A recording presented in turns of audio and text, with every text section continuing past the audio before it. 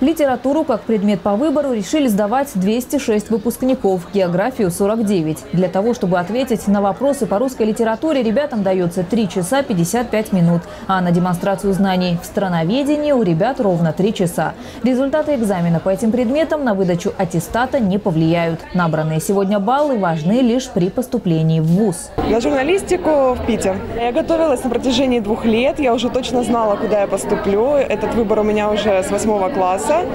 Вот. И, в принципе, я уверена в своих силах. На экзамене по литературе в этом году впервые будет использована новая технология, которая предполагает печать экзаменационных билетов непосредственно в аудитории.